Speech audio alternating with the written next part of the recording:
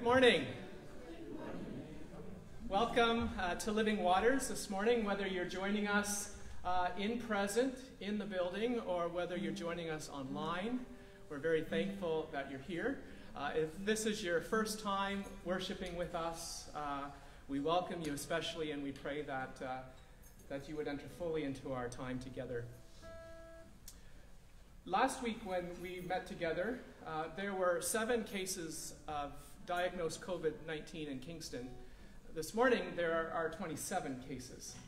And uh, I don't say that to create fear, I, I, say that to, to remind us of the context in which we're worshiping and the context in which we come together. And uh, medical professionals are not surprised by that. They said that they expected an increase in numbers in the second wave. But the reality is, for, for us, this can create all kinds of mixed feelings, can it? Anxiety and fear and worry. And it's, it's not just fear and worry about potentially catching the virus and, and what that might mean for us or, or giving it to, to someone we know who might be more vulnerable. It's the thought of, well, what happens if things close down again? If we're, we're stuck at home, isolated again. And so there's so much uncertainty. But the great news is, is in the midst of all of this social uh, uncertainty and the, and the health uncertainty, uh, God is certain. Right? God is certain. His goodness is certain. His faithfulness is certain. Uh, his love for us is certain. And when I think of the situation uh, we're living in, I'm reminded of, of one of my favorite passages uh, from the Old Testament. It's from the end of the book of Habakkuk. Now, some people say Habakkuk and some people say Habakkuk. Put up your hand if you say Habakkuk. Put up your hand if you say Habakkuk. All right, the Habakkuk's have it. Uh, but regardless of how you pronounce this, this, prophet's name, I just want to read to you his final words uh, because they speak, uh, they speak so strongly to us of the, the certainty that we can have in God. He says, uh, and you know these words even though the fig trees have no blossoms and there are no grapes on the vines, even though the olive crop fails and the fields lie empty and barren, even though the flocks die in the fields and the cattle barns are empty, yet I will rejoice in the Lord.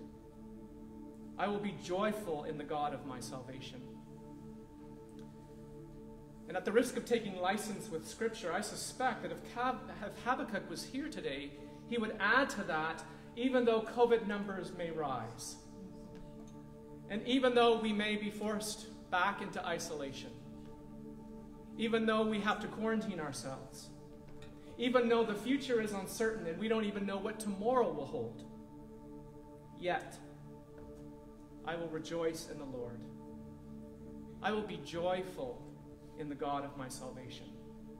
And so, friends, I pray that that is the posture and the attitude that we can take this morning. Again, whether we're here in the building and we're watching at home, that posture of joy uh, as we praise God for the certainty of who He is, for His goodness and His mercy and love. So I'm thankful that you're here with us this morning. I pray that, that you would encounter Jesus in our time together uh, and that you wouldn't leave this building or turn off your TV or your device the same way you turned it on, the same way you came in, that you would be changed by this experience.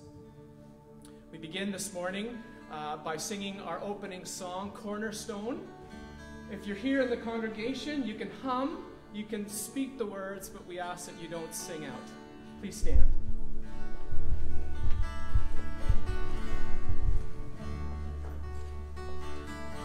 We serve a God who's a heart God. He's an inside out God. So the worship that's required of us happens on the inside and flows out. God, we just thank you that our hope is in you. And we just declare that before the heavenly realms this morning, God, with our mouths, with our hearts, trust you, Jesus.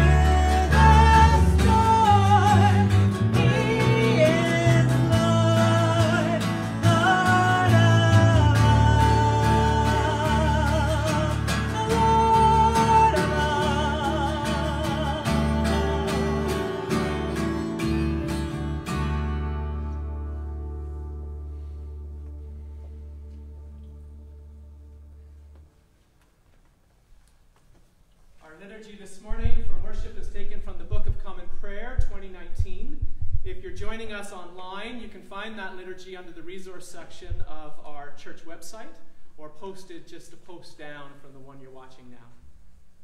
We begin with the acclamation.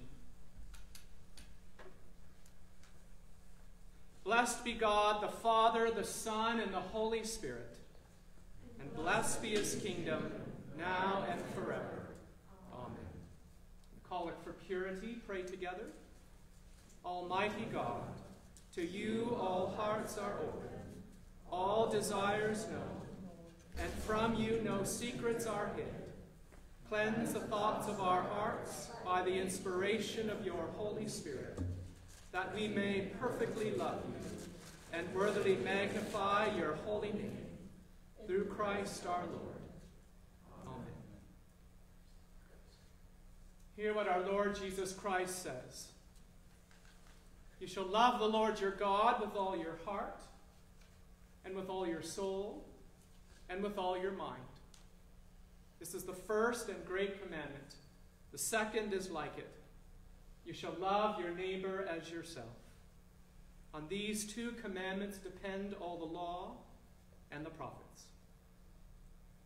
The Lord be with you. Let us pray. Keep, O Lord, your household, the church, in continual godliness, that through your protection it may be free from all adversities and devoutly serve you in all good works, to the glory of your name, through Jesus Christ our Lord, who lives and reigns with you in the Holy Spirit, one God, now and forever. Amen. Amen. Please be seated we listen to God's word. We're continuing our journey through Exodus uh, with Exodus uh, chapter 34.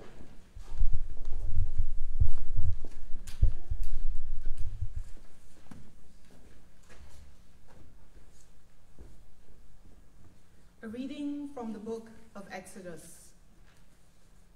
The Lord said to Moses, Cut two tablets of stone like the former ones, and I will write on the tablets the words that were on the former tablets, which you broke. Be ready in the morning, and come up in the morning to Mount Sinai, and present yourself there to me on the top of the mountain. No one shall come up with you, and do not let anyone be seen throughout all the mountain. And do not let flocks or herds graze in front of that mountain. So Moses cut two tablets of stone, like the former ones, and he rose early in the morning and went up on Mount Sinai, as the Lord had commanded him, and took in his hand the two tablets of stone. The Lord descended in the cloud and stood with him there and proclaimed the name, the Lord. The Lord passed before him and proclaimed, The Lord, the Lord, a God merciful and gracious, slow to anger, and abounding in steadfast love and faithfulness, keeping steadfast love for the thousandth generation, forgiving iniquity and transgression and sin, yet by no means clearing the guilty, but visiting the iniquity of the parents upon the children and the children's children to the third and the fourth generation. And Moses quickly bowed his head toward the earth and worshipped. He said, If now I have found favor in your sight, O Lord, I pray, let the Lord go with us. Although this is a stiff necked people, pardon our iniquity and our sin, and take us for your inheritance. He said, I hereby make a covenant before all your people. I will perform marvels, such as have not been performed in all the earth or in any nation. And all the people among whom you live shall see the work of the Lord, for it is an awesome thing that I will do with you. The word of the Lord. Thanks be to God.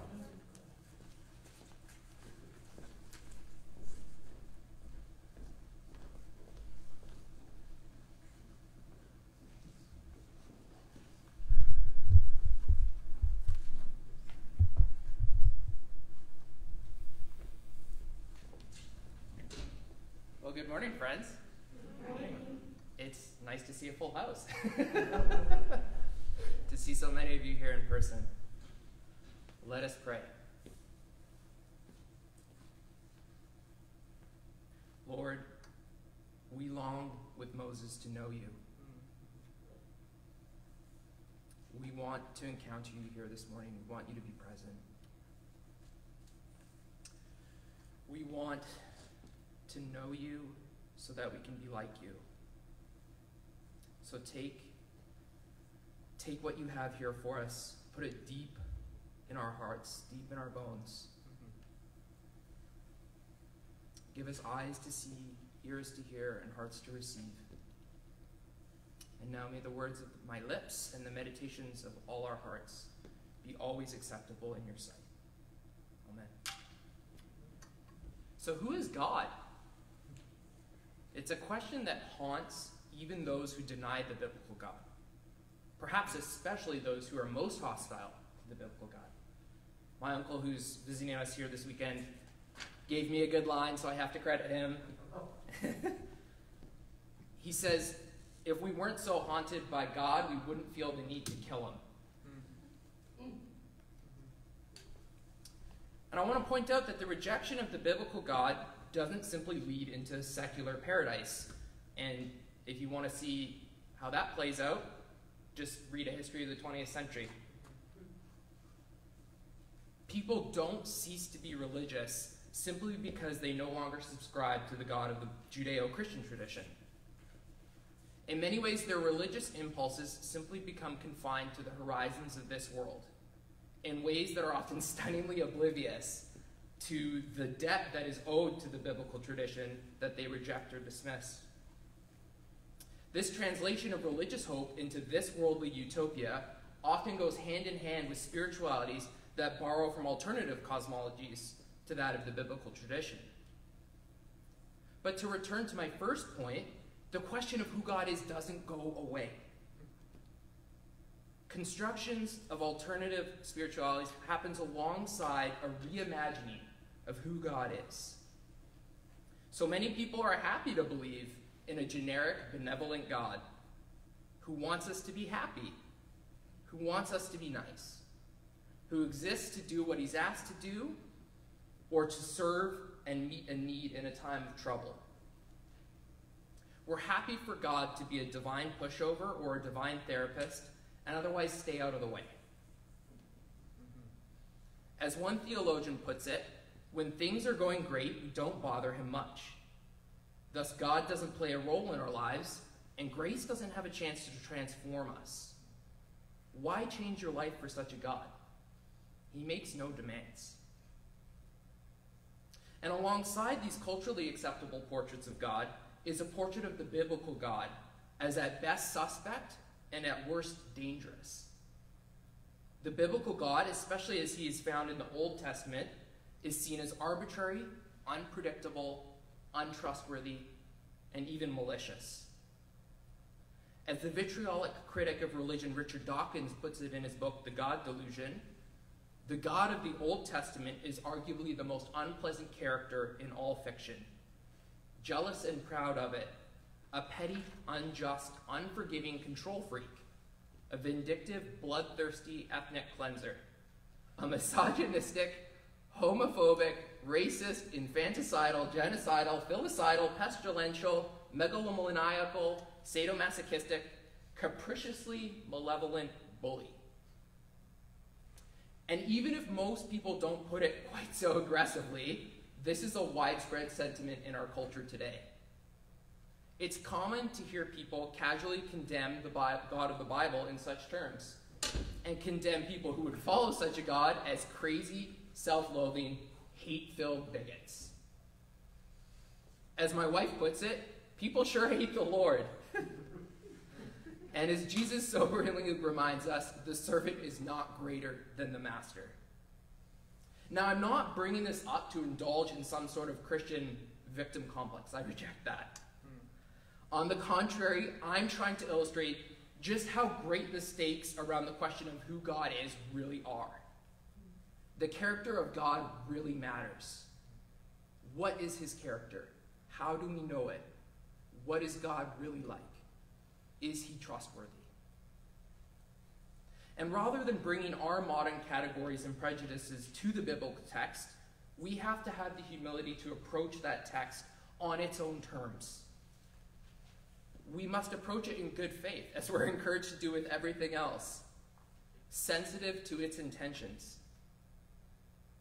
For as one biblical scholar puts it, one of the fundamental overarching convictions of our biblical authors is that God is utterly good.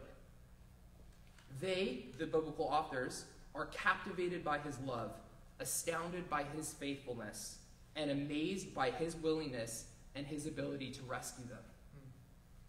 And ultimately, the whole world from trouble. And I'd like to suggest this isn't a forced reading of the text. This actually emerges from a plain reading of the Old Testament itself. The story the Old Testament is telling is good news precisely because of the character of the God we encounter there. To put it bluntly, many contemporary readings of the Old Testament and many depictions of the God of the Bible are at best caricatures and at worst simply dishonest. And as Christians, we don't get the option not to care about this. For the extraordinary claim that the New Testament is making is that Jesus is not only the one who brings Israel's story to its climax, he is Yahweh come among us. And who is Yahweh? Throughout Exodus and the biblical narrative so far, we have been seeing and hearing God do things. We've started to develop a picture of who God is and what he does. Yet, it's not the height of redemption from Egypt, but the nadir of the golden calf incident that leads to the awesome summary of God's character in Exodus 34 6 to 7. A self revelation that reverberates throughout Israel's story. This leads us into Exodus 34 and the points I'd like to make today. God's character is revealed in the midst of a relationship and in the flow of the biblical story. God is not cruel, arbitrary, or petty. He forgives, even as he punishes the guilty. And finally, along with the biblical authors, God's character is consistent and trustworthy. C.S. Lewis puts his thumb on the biblical perspective in the words of Mr. Beaver to, on Aslan to the children in the classic book, The Lion, the Witch, and the Wardrobe. Safe? Who said anything about safe? Of course he isn't safe, but he's good. The biblical God is not nice. The biblical God is not a capriciously malevolent bully either, but he is good. And it's the biblical God who's worth following, who actually has the power to transform our lives. So let's meet this God with Moses atop Mount Sinai. My first point God's character is revealed in the midst of a relationship and in the flow of the biblical story. The self revelation of God in Exodus 34 doesn't occur within a vacuum. It arises out of the golden calf incident, and it's actually a commentary on how Yahweh behaves in that story. It's not a neat little list of attributes that can be disconnected from that story. To paraphrase, uh, paraphrase one prominent Jewish scholar, biblical faith does not experience God as an idea. He's overwhelmingly real and shatteringly present. God wants to work out his intentions in the world through a covenant people. He wants to be known by his people. He even wants to dwell with his people. The problem is that these people fail right away. The first thing they do is jeopardize the relationship by egregiously violating the covenant they have just agreed to. As Moses is up on the mountain sealing the deal, the people are making a golden calf and celebrating it as Yahweh. And this is introducing a profound tension into the biblical narrative. What is God going to do with human partners he is committed to working through when they fail and betray him? This is a crucial moment. And the drama of it all is framed by Moses' five intercessions on behalf of the people, which are very consciously echoing his five attempts to get out of leading that people that he made back on that same mountain in Exodus 3 and 4. So, intercession number one don't destroy the people. As we heard several weeks ago, God's anger is aroused by the Israelites' honeymoon idol- uh, ad- adultery. He tells Moses to leave him alone so that he may destroy the people and start again with Moses. Yet, in his command to Moses to leave me alone, which might be better translated, give me rest, Moses hears an invitation to intercede for the people. God doesn't have to announce his intentions or consult Moses, yet he listens to Moses' objections. It was Yahweh, says Moses, not me, who rescued the people out of Egypt. They were his people, redeemed by him, before they were ever invited to be his treasured possession, his kingdom of priests, and his holy nation. Yahweh must think of how the nations will react to Israel's destruction. Egypt has come to know Yahweh too in the course of the Exodus. Will they now see him as inconsistent, having saved his people only to destroy them? Finally, will Yahweh abandon his promises to the patriarchs, to Abraham, Isaac, and Jacob, the promises he swore by himself to keep? His purposes and his integrity are on the line. But as I was trying to illustrate a few weeks ago, Moses is not actually arguing against God here. He's participating in an argument within God himself. And he's paradoxically asking God to change course in the present in order precisely to be consistent with his character and his promises. And Yahweh relents. As we heard, he leaves space for grace and scope for hope. Moses knows that appealing to God in relation to his covenant, his name, and his promises can stay God's hand. Because those are the realities that are at God's heart. This is not to say that the threat of destruction is not real or that Moses' intercession is not necessary. It is to say that God invites Moses into the pain and tension that the failure of his human partners bring him even if his character and his promises require an act of grace on his part. Yahweh spares the people because he realizes that having a covenant people inevitably means dealing with their failures. As one Bible teacher puts it, God's purpose to work in the world through humans signs him up for these sorts of situations. This does not mean, however, in the context of this story, that the relationship is now in good standing or that God is no longer just. Moses has brought God rest, but recognizes the need for ongoing intercession. And this leads to intercession two blot me from your book. So Moses returns to the camp to discover just what has been going on and how bad it really is. Now his anger is aroused too, and he smashes the stone tablets of the covenant. He destroys the golden calf and makes the people drink the powder. He acts to rein in the people who are running wild, rallying the Levites to him and tasking them with rooting out the worst offenders. Even the tragedy of this bloodshed, which pits brother against brother, is insufficient to cover for what has happened. Though Moses attributes this course of action to Yahweh, this is less divine punishment and more relationship preservation. For the idolatry and the immorality in the camp have to stop if there's going to be a possibility of a future. The idolatry of the golden calf and the ensuing immorality of the people represent a breaking of the covenant and this is symbolized in Moses' smashing of the tablets.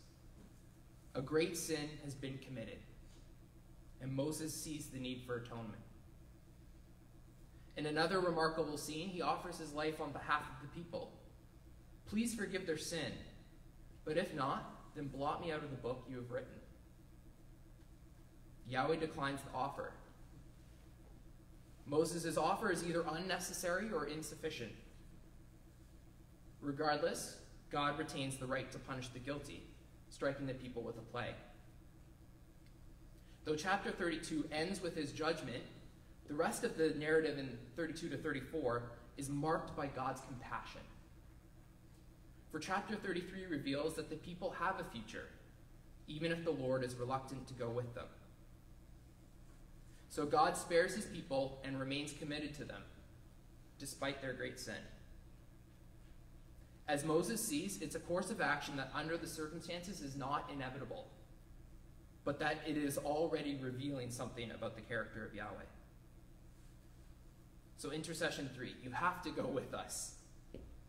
As promised in Exodus 23, the Lord will send his angel with the people into the land he promised their ancestors but he himself will not go with them. They are a stiff necked people. The image here is of a stubborn donkey or ox, resistant to direction, and therefore Israel is well named. The characteristic difficulty of the people is a barrier to God accompanying the people. There is an incompatibility between God's holiness, we could also say his goodness, and their sinfulness. The people's proclivity rebellion, for rebellion and unfaithfulness puts them at risk. God doesn't want a repeat of the golden calf incident. Maybe it's for the best if he doesn't come along. Moses again intercedes. Our attention is now drawn away from the rebelliousness of the people and towards the remarkable friendship of Yahweh and his servant Moses.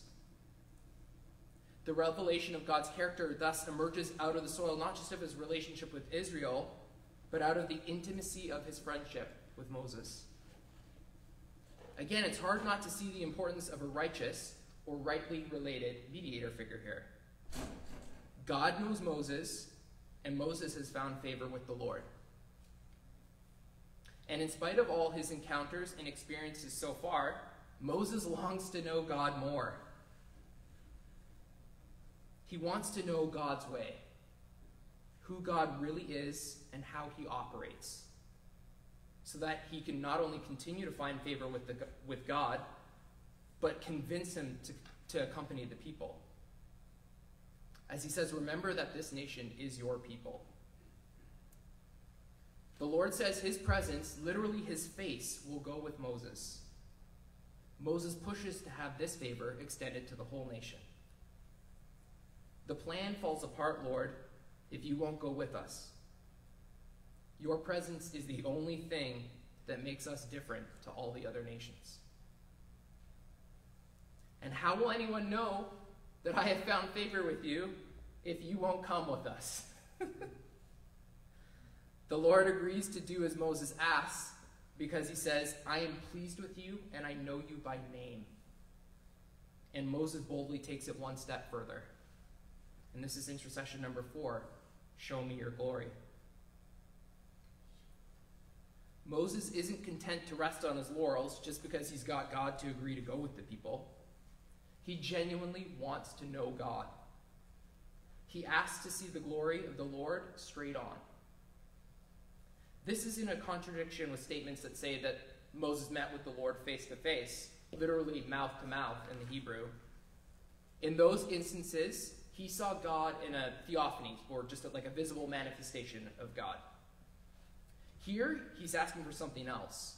He's asking to see the full splendor of the Lord on display.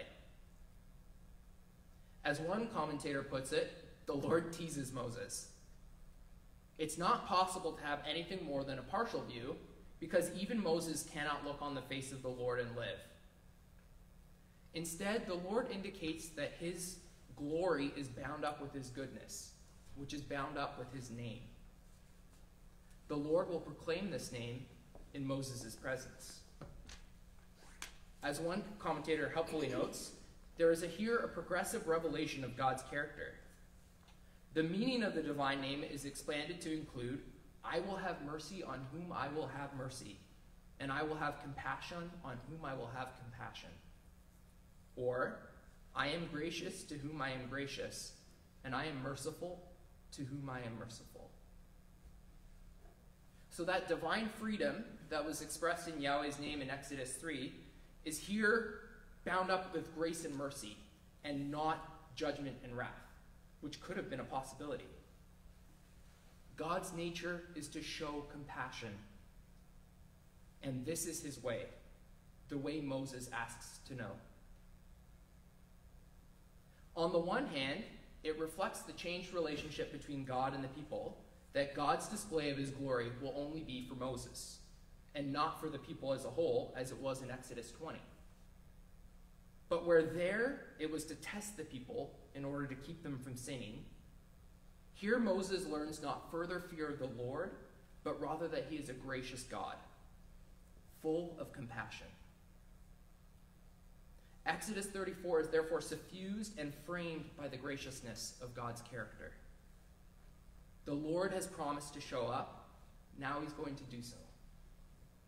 And he's going to make a full disclosure of his character, which is bound up with his willingness to reinstitute the broken covenant. He tells Moses to cut new stone tablets and meet him at the top of the mountain. This, then, is the essential context for Exodus 34. It reveals a God who is not safe, but who is good. And I know that this portrait of God can make many of us uncomfortable. But if we're going to treat the biblical narrative with integrity, we have to take this portrait seriously, remembering that the biblical authors see God as utterly good. God's graciousness wins out, though he takes how people respond to him very seriously. We have to remember here that the scriptures are not so much about Israel's greatness as they are about God's faithfulness to Israel and his commitment to work out his purposes in the world through them, in spite of their consistent failure to remain faithful to him. Exodus 34 is going to speak to this tension. So God is not cruel, arbitrary, or petty. He forgives even as he punishes the guilty. Moses cuts the new tablets as commanded and ascends the mountain again. And as Exodus 34 recounts it, then the Lord came down in the cloud and stood there with him and proclaimed his name, the Lord. And he passed in front of Moses, proclaiming, The Lord, the Lord, the compassionate and gracious God, slow to anger, abounding in love and faithfulness, maintaining love to thousands, and forgiving wickedness, rebellion, and sin. Yet he does not leave the guilty unpunished. He punishes the children and their children for the sin of the parents to the third and fourth generation. This is actually one of the key texts of the Hebrew Scriptures. As we've heard, it comes at a particular moment in the biblical story, and it describes how God behaves in that moment. This self revelation of God's character is subsequently requoted, partially quoted, cross referenced, and alluded to dozens of times in the biblical narrative. In fact, it's the most requoted verse in the whole Bible. There's at least two very interesting and interrelated biblical Bible studies here, and my temptation was to get too deep into them as I was preparing here. Um, one would trace how the scriptures continuously refer and appeal to God's character as it's articulated in Exodus 34. And one would systematically explore the meaning of each of the words God uses in reference to himself. With that being said, my focus here is not on either of those things. I want to ask Is the tension we feel between verses 6 and 7 as modern re- readers a tension God Himself feels? Is it a problem for the biblical authors? Many of us moderns have a problem with God's anger. We assume God's anger leads to judgment, and we're allergic to that. Then we read something like verse 7, and we're, as they say, triggered. God visits the sins of the parents on the children and their children? This doesn't sound like the God we hear about in verse 6. Is this a contradiction? A closer reading reveals that, in fact, God is not vindictive. He is, however, prepared to deal with people as they respond to him. When God says that he will punish children to the third and the fourth generation, he's not saying he's going to punish you for your grandfather's sin. What he is saying is that he will contend with each generation on their own terms as they repeat or follow in the sins of their ancestors. Your grandfather's sin might make you more likely to pattern your own behavior after his. You might even live with the consequences of his sin, even if you're not being punished for it. But God deals with each generation and each person according to the choices that they make. The biblical narrative itself draws this out. In Numbers 14, as we're going to hear about in a few weeks, the rebellion of the people leads God to deny the generation that left Egypt his rest in the promised land. But he doesn't deny the children of that generation their future in the land. Later, when the people are sitting in exile in Babylon, they become fond of saying that the parents eat the sour grapes, but the children's mouths pucker at the taste. They believe the children are being punished for the sins of the parents. And God actually says this isn't the case. The one who sins is the one who will die. The child will not share the guilt of the parent, nor will the parent share the guilt of the child. Indeed, if a wicked person turns away from the wickedness they have committed and does what is right and just, they will live. And this actually leads the Lord to challenge Israel, and I think this is a challenge that he's extending to us too. Are my ways unjust, people of Israel? Is it not your ways that are unjust? And to go beyond this, even, Lamentations, which is reflecting on the destruction of Jerusalem and the exile of the people, reminds us that hope for restoration extends beyond judgment. No one is cast off by the Lord forever. Though he brings grief, he will show compassion. So great is his unfailing love. Another thing I wanted to highlight is that Exodus 34, 6 to 7 doesn't say that God is angry. It says that he's slow to anger. It's not in his nature to act rashly. He gives people lots of chances to repent, to make different choices. Even Pharaoh got 10 chances to do things differently. So when God gets angry, it's always for a reason. It's measured, it's strategic, and it's constrained by his mercy and his grace. So, what is it that makes God angry? It's actually the human propensity for evil.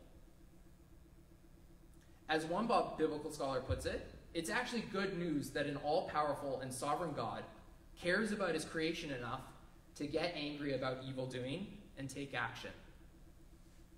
Because this gives us hope that justice will be done. The fact that God gets angry and holds people accountable doesn't bring his character into question. If anything, it actually witnesses to the goodness of that character. The last thing I wanted to point out is that in the whole of this statement in Exodus 34 and 6 and 7, the emphasis is on the first verse. God doesn't put aside his justice, but the scales are tipped towards mercy.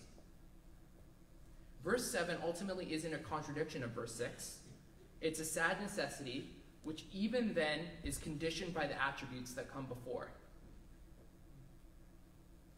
Throughout the scriptures, an appeal from a righteous intercessor or the repentance of the people sways God. His disposition is a merciful one. As one commentator points out, Moses' question in Exodus 34, or sorry, 32, as to whether God is willing to forgive the people is answered in Exodus 34. Though many English translations have it here as God forgiving wickedness, rebellion, and sin, the Hebrew verb used here, nasa, is better translated carry or bear. And so God's willingness to carry the people's wrongdoing becomes the basis for a renewed relationship. As I was reflecting on this, it didn't sound very much like Dawkins's capriciously malevolent bully. And this leads me into my third point God's character is consistent and trustworthy. I cannot stress enough how radical this portrait of the God of biblical faith is, especially when the Lord is compared to the gods of Israel's neighbors. In their worldview, the worldview of the neighbors, humans are afterthoughts, slaves of the gods. Their gods can't be expected to be faithful. And they're fickle and cruel. They're hard to please and they're easy to offend. You never know which God might be mad at you or whether your attempts to discern and satisfy their needs will work. The goal is simply staying out of trouble and hoping to get some benefit in the process. The worship of the gods is marked by anxiety and fear. And this, in part, is why God is so often described as a jealous God. It's not only because he is jealous of his right to be worshiped alone, it's because he's against false gods, gods who can only do harm to those who follow them. As one Bible scholar puts it, worthless idols cannot bless or love or rescue. One wonders if God's jealousy is not still good news today. Israel, therefore, heard a profound statement of God's goodness in Exodus 34, 6 and 7, but also a profound statement about the stability of God's character, which they could have confidence in. God's character is consistent. The prophet Joel knows this. In a time of drought, famine, and locusts, brought on by God withdrawing his blessing due to Israel's violation of the covenant, he calls on Israel to rend your hearts and not your garments. Return to the Lord, for he is gracious and compassionate, slow to anger and abounding in love, and he relents from sending calamity.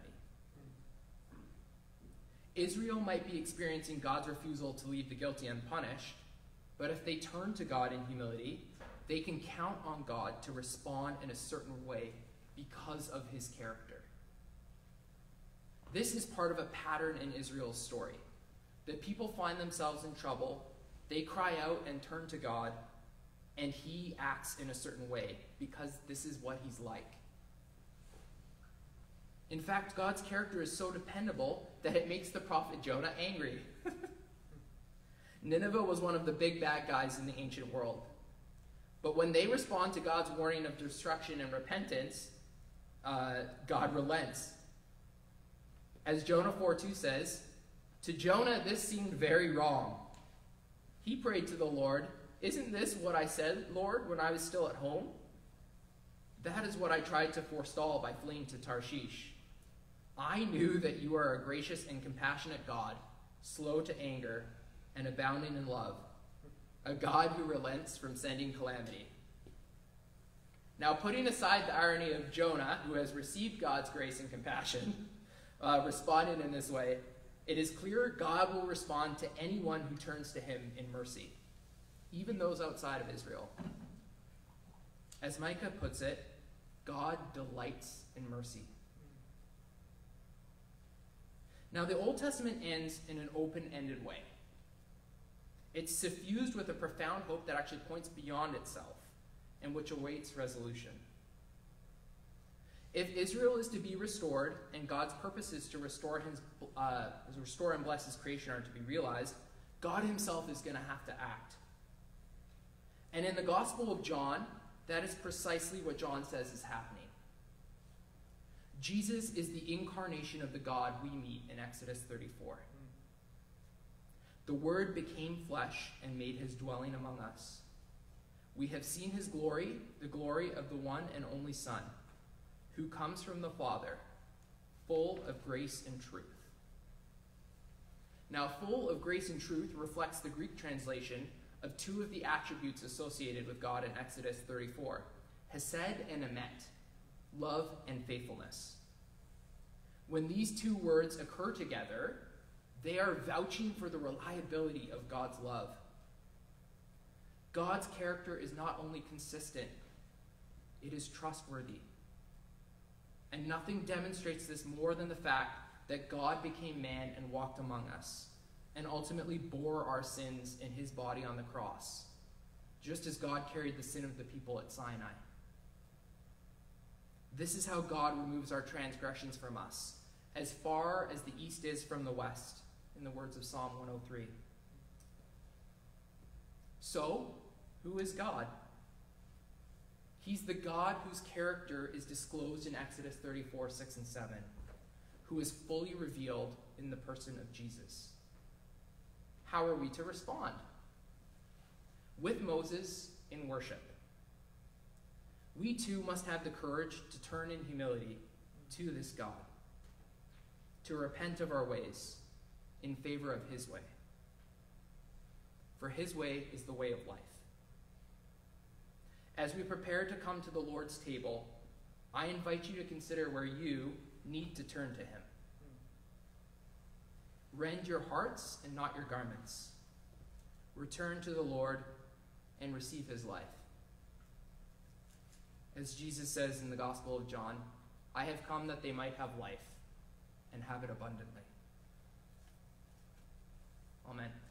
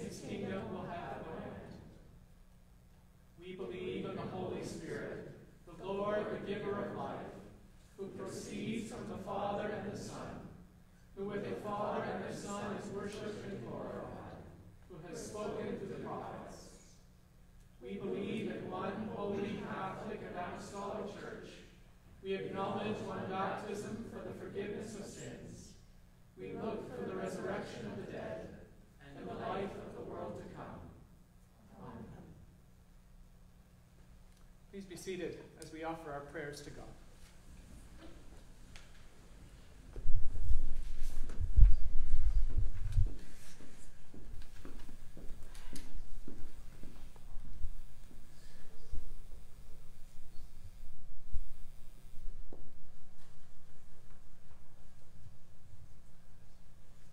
Eternal God, you have rescued us from condemnation and useless lives. This you have done by the precious blood of your Son, Jesus the Christ, who was and is the spotless and innocent Lamb. You have revealed yourself to us. Although, as Mr. Beaver and Simon state, you are not a tame lion, it is a privilege to know and serve the Creator of the ends of the earth. Our faith and hope is in you alone. We thank you that we can participate in this worship service, either in person or on Facebook. Continue to use this time of worship to separate us from the pressure of our daily lives and revive our commitment to be renewed by the transforming of our minds that we might know your will. Encourage and admonish all people who worship you today, here in Kingston and around the world. We pray, O Lord, for this world. We all need your help. Some of us realize it, and others do not. Heal and sustain those who are sick. Protect the elderly and those suffering from a chronic disease. We pray also for those who are young and strong and those who are unafraid. Cause them to understand that they too are vulnerable and must be careful, and that you are the source of true strength. We pray for Donald and Melania Trump. Restore them to good health. Imbue in all of us an understanding of our own fragility and the importance of respecting guidelines established by health authorities. Reduce the amplitude of the second COVID wave sweeping Canada, the world, and Kingston. Guide and motivate scientists struggling to understand and control COVID. Encourage politicians to listen and respect scientists. We pray for your church in India, Brazil, Mexico, and other countries hard hit by COVID, that it will be a strong witness to your grace during this perilous time. Minister to Christians everywhere who are cut off from fellowship with other believers. Comfort and encourage people who are alone.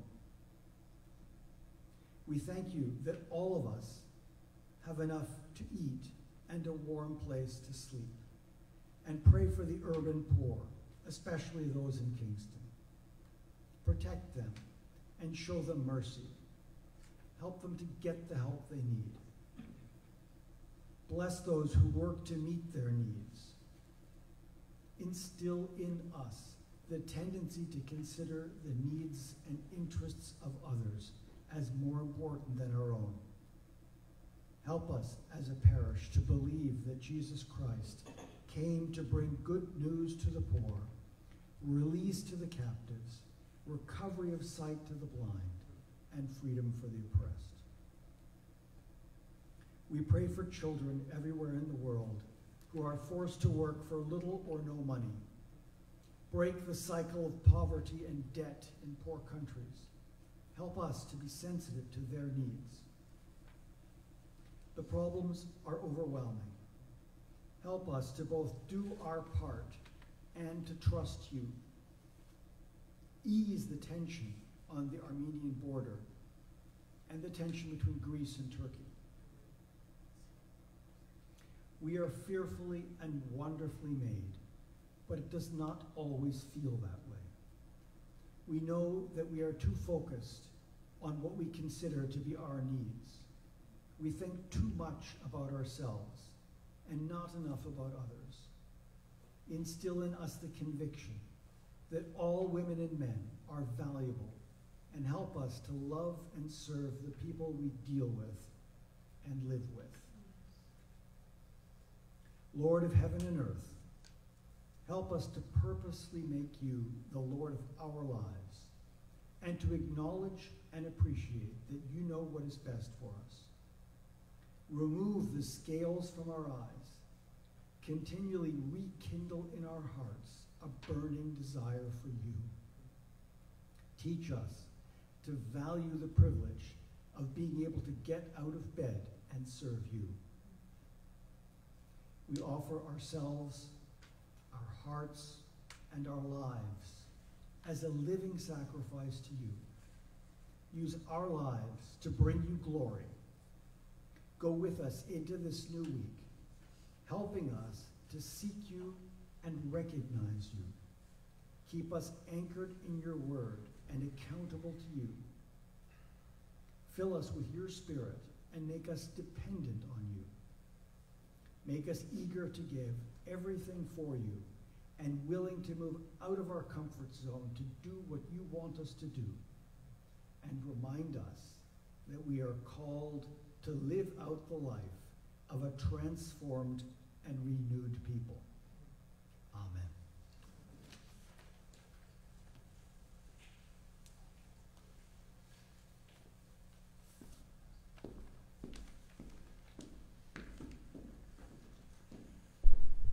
Thank you, Tucker.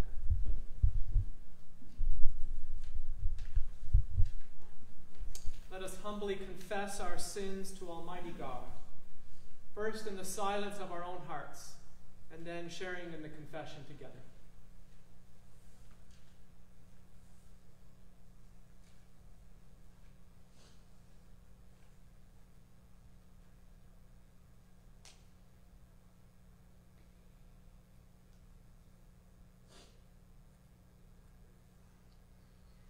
Most merciful God, we confess that we have sinned against you in thought, word, and deed, by what we have done and by what we have left undone. We have not loved you with our whole heart. We have not loved our neighbors as ourselves. We are truly sorry, and we humbly repent. For the sake of your Son, Jesus Christ, have mercy on us and forgive us, that we may delight in your will and walk in your ways to the glory of your name. Amen. Almighty God, our Heavenly Father, who in his great mercy has promised forgiveness of sins to all those who sincerely repent and with true faith turn to him, have mercy upon you, pardon and deliver you from all your sins, confirm and strengthen you in all goodness, and bring you to everlasting life through Jesus Christ our Lord. Amen. Hear the word of God to all who truly turn to him. Come to me, all who labor and are heavy laden, and I will give you rest. God so loved the world that he gave his only begotten Son, that whoever believes in him should not perish, but have eternal life. The saying is trustworthy and deserving of full acceptance that Christ Jesus came into the world to save sinners. If anyone sins, we have an advocate with the Father, Jesus Christ the righteous. He is the propitiation for our sins, and not for ours only, but also for the sins of the whole world. Would you please stand as able? The Lord be with you. Lift up your hearts. Let us give thanks to the Lord our God. It is right, our duty and our joy, always and everywhere to give thanks to you, Father Almighty, Creator of heaven and earth, through Jesus Christ our Lord. For he is your living word from before time and for all ages. By him you created all things, and by him you make all things new. Therefore we praise you, joining our voices with angels and archangels and with all the company of heaven, who forever sing this hymn to proclaim the glory of your name. Holy, holy, holy, Lord God of power and might. Heaven and earth are full of your glory. Hosanna in the highest. Blessed is he who comes in the name of the Lord. Hosanna in the highest. Holy and gracious Father, in your infinite love you made us for yourself. And when we had sinned against you and become subject to evil and death, you, in your mercy, sent your only Son, Jesus Christ, into the world for our salvation. By the Holy Spirit and the Virgin Mary, he became flesh and dwelt among us. In obedience to your will, he stretched out his arms upon the cross and offered himself once for all that by his suffering and death we might be saved. By his resurrection, he broke the bonds of death, trampling hell and Satan under his feet. As our great high priest, he ascended to your right hand in glory, that we might come with confidence before the throne of grace. On the night that he was betrayed, our Lord Jesus Christ took bread. And when he had given thanks, he broke it, gave it to his disciples, saying, Take, eat. This is my body, which is given for you. Do this in remembrance of me.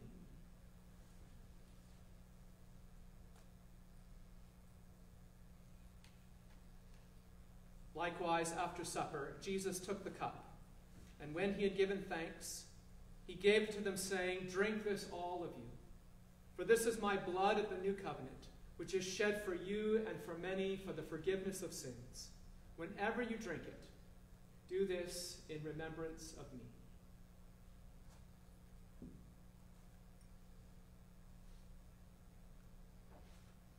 Therefore, we proclaim the mystery of faith. Christ has died, Christ is risen, Christ will come again.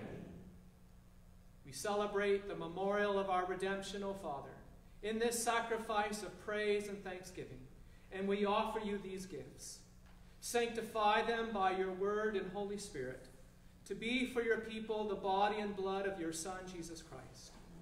Sanctify us also, that we may worthily receive this holy sacrament and be made one body with him, that he may dwell in us and we in him. In the fullness of time, put all things in subjection under your Christ, and bring us with all your saints into the joy of your heavenly kingdom, where we shall see our Lord face to face. All this we ask through your Son, Jesus Christ, by him and with him and in him, in the unity of the Holy Spirit. All glory is yours, Almighty Father, now and forever. Amen. And now, as our Savior taught us, we are bold to pray. Our Father, who art in heaven, hallowed be thy name. Thy kingdom come, thy will be done on earth as it is in heaven. Give us this day our daily bread, and forgive us our trespasses, as we forgive those who trespass against us. And lead us not into temptation, but deliver us from evil. For thine is the kingdom, the power, and the glory, now and forever. Amen. Christ, our Passover lamb, has been sacrificed once for all upon the cross. Therefore, let us keep the feast. We do not presume to come to this your table, O merciful Lord, trusting in our own righteousness, but in your abundant and great mercies. We are not worthy so much as to gather up the crumbs under your table, but you are the same Lord, whose character is always to have mercy.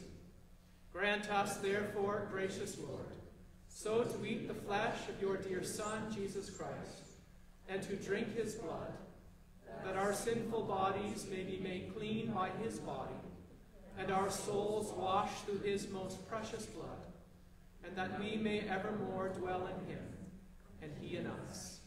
Amen. Lamb of God, you take away the sin of the world. Lamb of God, you take away the sin of the world.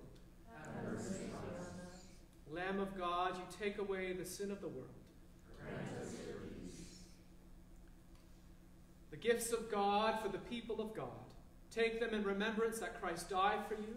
Feed on him in your hearts by faith with thanksgiving. Thanks be to God. Please be seated. So, for communion, um, the communion has been prepared in such a way, as I said last week, that uh, um, has respected uh, all of the guidelines put forth by the diocese and our health unit. Uh, if you wish to receive communion, if you're here in the building, I just ask that you stand at your seat and hold out your hand. And I will place uh, a wafer that already has uh, wine on it. I'll place that in your hand uh, using tongs. If you're unable to stand but you would like communion, just make sure your hands are raised and I will know that. If you do not wish to partake in communion, uh, I will say a prayer of blessing. Uh, if you're watching us at home, or if you're here in the building and do not wish to take communion, I'm going to lead you in a few minutes in this prayer for spiritual communion. And, and the, uh, the point of this prayer is saying, Lord, even though I cannot participate physically in communion, I wish to possess you spiritually, uh, and I pray this prayer. And so I'm going to pray this now. And so if you're here in the building and uh, you do not wish to have communion, you're welcome to pray it out loud with me. If you're at home, uh, please pray it as well. Dear Jesus, I believe that you are truly present in the Holy Sacrament. I love you above all things, and as I desire to possess you within my soul. And since I cannot now receive you sacramentally, I ask you to come spiritually into my heart. I unite myself to you, together with all your faithful people gathered around every altar of your church. And I embrace you with all the affections of my soul. Never permit me to be separated from you, for I pray in your holy name. Amen.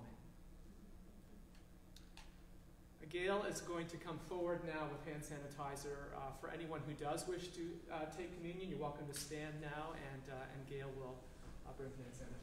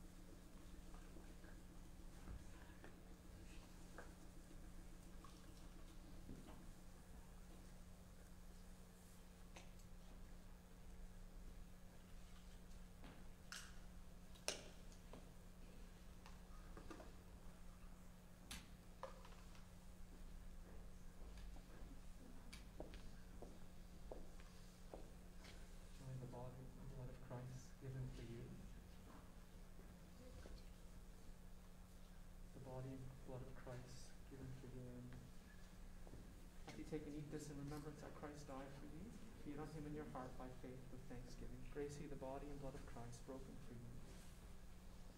The body and blood of Christ, the bread of heaven, keep you in eternal life.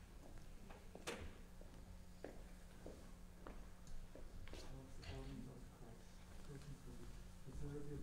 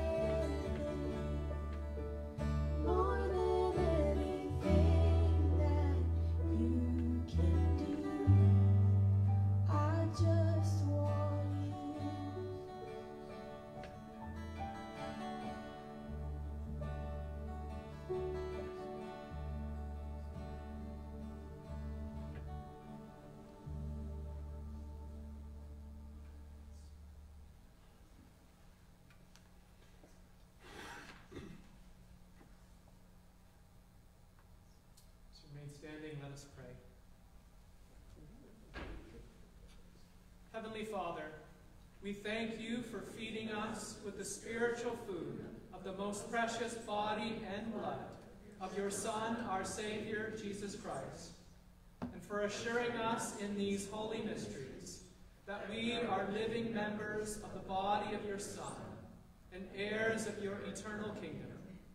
And now, Father, send us out to do the work you have given us to do to love and serve you as faithful witnesses of Christ our Lord.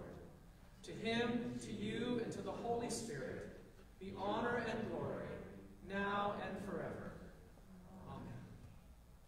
Please be seated for the announcements. Uh, just a few things. Uh, collection plates. We're not passing the collection plate uh, during the service. We don't have an offertory. Uh, if you uh, do uh, would like to give your tithes and offerings today, the collection plates are just at the back of the church, and I encourage you to use those. Uh, you're also able, of course, to continue with PAG uh, e-transfer, and did I miss one? Canada Helps. Canada helps. Canada Helps as well. If you have any questions about any of that, John Telchman, our treasurer, is the person uh, for you to speak to.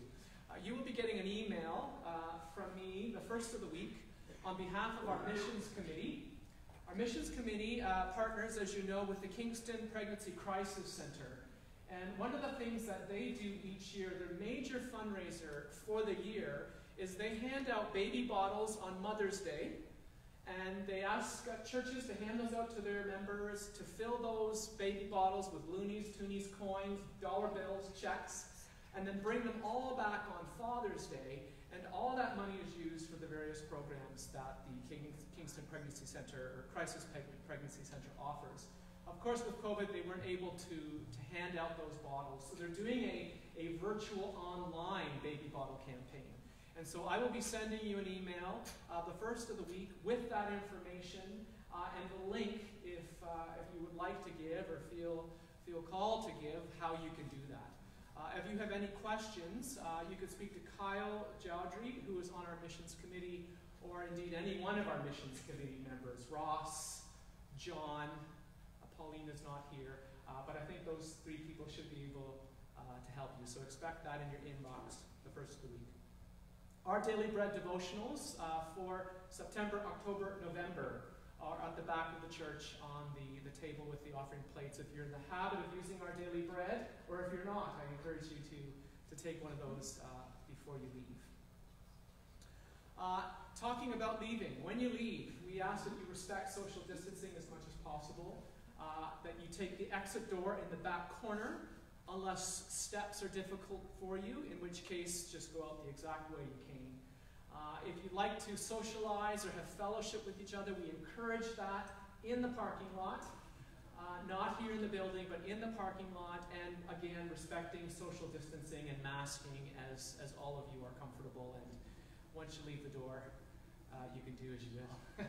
um, so we pray that you have a good week this week, uh, that you look for opportunities, um, as Simon encouraged us in, in his sermon, just to reflect on the nature uh, and the character of God, on His goodness, and how that goodness has been manifested uh, in your life as we prepare to celebrate Thanksgiving uh, next Sunday and, uh, and to be intentional about our thankfulness to God. Let us pray. The peace of God which passes all understanding. Keep your hearts and minds in the knowledge and love of God of his Son, Jesus Christ our Lord. The blessing of God Almighty, the Father, Son, and Holy Spirit be amongst you and remain with you, with those whom you love and serve, this day and always. Amen.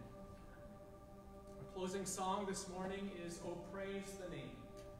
Please stand? I cast my mind to Calvary,